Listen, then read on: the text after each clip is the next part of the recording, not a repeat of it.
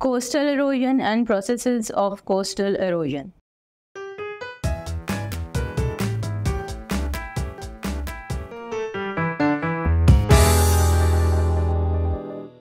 Assalamualaikum students, I welcome you all on the platform of digital academic provided by Moonlight International Publishers. आज students हम एक नया topic पढ़ेंगे और वो है कोस्टल इरोजन का और उसमें क्या चीज़ें या क्या प्रोसेसेस इन्वॉल्व हैं जो साहिलों पर इरोजन का बायस बनती हैं। एक्चुअली कोस्टल इरोजन का जो प्रोसेस है उसमें हमें देखने को मिलता है कि जो साहिल है या साहिल की पट्टी है जो शोर लाइन है ये बिल्कुल साहिल जहाँ पर आ, स्टार्ट हो रहा है समंदर आगे से वो उसका कुछ हिस्सा ख़त्म हो जाता है।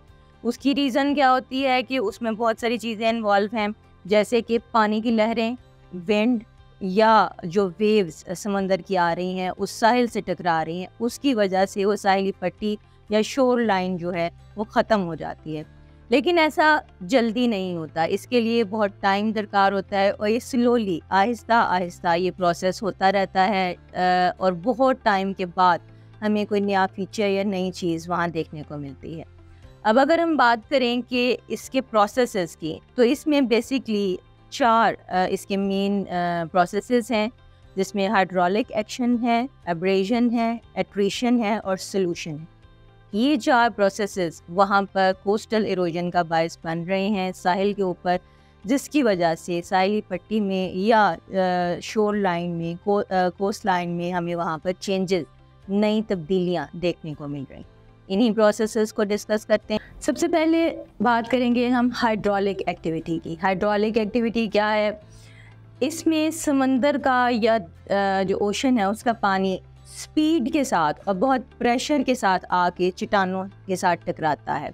जिसकी वजह से चट्टानों के कुछ हिस्से रॉक्स जो वहाँ पे क्लिफ्स या रॉक्स मौजूद हैं, उसके कुछ हिस्से टूट के गिर जाते हैं। और वहाँ पर, उस साइल पर उस चट्टान से हिस्सा टूट के वहाँ गिर गया।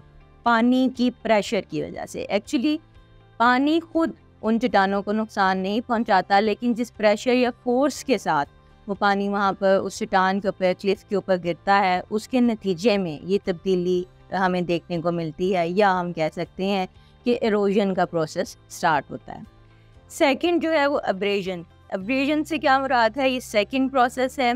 कोस्टल एरोजन का और इसमें क्या हो रहा है कि जो चट्टाने या क्लिफ्स मौजूद हैं या सेडिमेंट्स वो पानी अपने साथ लहरें बहा के लेके आ रही जब अपने साथ लेके आती हैं तो उस, उसको साहिल पर छोड़ देती हैं। वो वहाँ पर जमा होने शुरू हो जाते हैं। आहिस्ता आहिस्ता वहाँ पर इन आ, ये सेडिमेंट्स जो हैं रॉक के या कुछ पार्ट्स जो हैं जो लहरें अपने साथ लेके आ रही हैं साहिल पर, वो वहाँ पर डिपॉजिट होना शुरू हो जाते हैं, जिसके नतीजे में हमें सी के या सी आर्शेज देखने को मिलती हैं। इसी तरह अगर हम थर्ड प्रोसेस प्रोसेस की बात करें तो वो है एट्रीशन ये नंबर थ्री प्रोसेस है कोस्ट कोस्टल इरोजन का और इस प्रोसेस में क्या होता है कि जो चट्टानों के पार्ट टूटे हैं लहरों की वजह से, लहरें उठा के लेके गई हैं, वो टूट गए हैं, वो टूटे हुए पार्ट भी स्मॉल पीसेस जो हैं चट्टानों के, वो भी इस मूवमेंट में जब लहर उसको उठा के लेके जा रही है वेव्स तो आपस में उस पानी के अंदर भी आपस में टकराते हैं एक दूसरे से, जिसकी वजह से वो मज़ीद छोटे टुकड़ों में पीसीज में डिवाइड हो जाते हैं। और विद टाइम वो सेटल हो जाते हैं, या तो साहिल के साथ या पहाड़ों के नज़दीक, जिस तरफ़ भी लहर ने उठा के उनको फेंका। नंबर फोर प्रोसेस जो कोस्टल इरोजन का है, वो है सोलूशन सोलूशन में क्या है कि जब एसिड रेन होती है तो उसका पानी चट्टानों के ऊपर गिरता है. या लहरों में अगर एसिडिटी मौजूद है, जो पानी की लहरें चट्टानों से आके टकरा रही हैं समंदर की, उनमें और चट्टानों में पानी की एसिडिटी की वजह से और चट्टानों में केमिकल रिएक्शन होता है, जिसकी वजह से वो चट्टान टूट जाती है, या गिर जाती है या उसका कुछ हिस्सा डैमेज हो जाता है।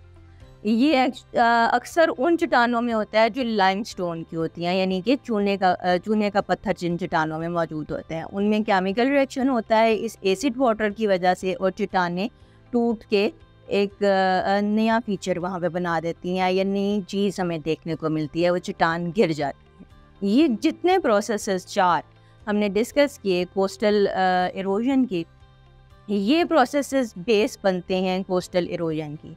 साइड बाय साइड हो रहे हैं और ये कोस्टल इरोजन की बेस बनाते हैं, जिसकी वजह से हमें साहिल पर तब्दीलियाँ नज़र आती हैं और आहिस्ता आहिस्ता वक्त गुजरने के साथ साथ हमें वो साहिली पट्टी या वो साहिल जो शोर लाइन है वो गायब हो जाती है या ख़त्म हो जाती है।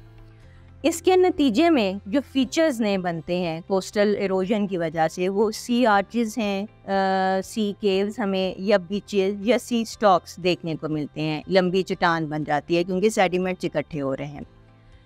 एक चीज़ जो यहाँ पे मेंशन करनी ज़रूरी है, पहले भी पढ़ते आ रहे हैं इरोजन में कि इरोजन एक कुदरती प्रोसेस है, एक नेचुरल प्रोसेस है, लेकिन ये बात हमें अपने माइंड में ज़रूर रखनी चाहिए कि ह्यूमन एक्टिविटीज़ भी इन्वॉल्व हैं, जो इस प्रोसेस को ज़्यादा कर देती हैं। जैसे कि डेवलपमेंट प्रोसेसेस हैं, उस एरिया में साहिल के इर्द गिर्द कोई डेवलपमेंट प्रोसेस हुआ कोई इंडस्ट्री लगी, कोई अर्बनाइजेशन हुई सेटलमेंट हुई, इंसान वहाँ पे ये आबादियाँ जो हैं, उनका असर पड़ रहा है। इसके अलावा क्लाइमेटिक चेंजेस जो हैं, उनका असर पड़ रहा है।